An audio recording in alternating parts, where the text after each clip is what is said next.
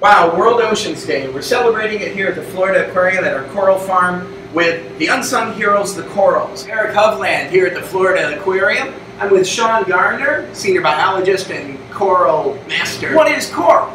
Well, coral is an animal. It kind of looks like a rock. You're not going to see it crawling around or swimming like the animals you would imagine, but it's hundreds to thousands to millions of individual animals called polyps that live on the skeletons of their, well, their grandfathers in a way. Sean, what do they need to really thrive? What's important to coral? We are on the top floor of the Florida Aquarium uh, in direct sun right now. It's really hot in here and it's really bright in here. Well, the corals need it. They have algae that lives inside of it that gives the coral their food.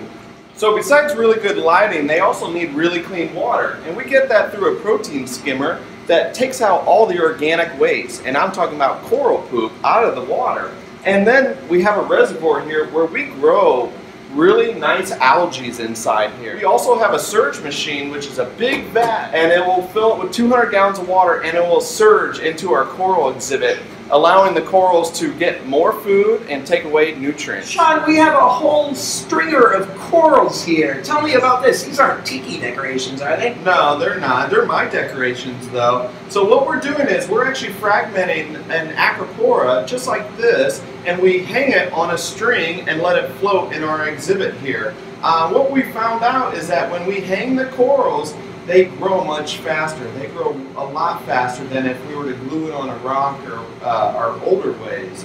Um, in this method, they actually get really good flow and really good light, and then when I feed, all of the polyps can eat. After maybe about a year or so, when these guys get really large, you know, a foot in diameter, uh, we'll go and plant these in a good reef. Fantastic. We're helping grow coral reefs by growing corals here at the Florida Aquarium's Coral Farm you can help. Help out World Oceans Day. Help out with the Florida Aquarium. And we're just going to sign off with that message. Thank you. I'm Eric Hovland. This is Sean Gardner.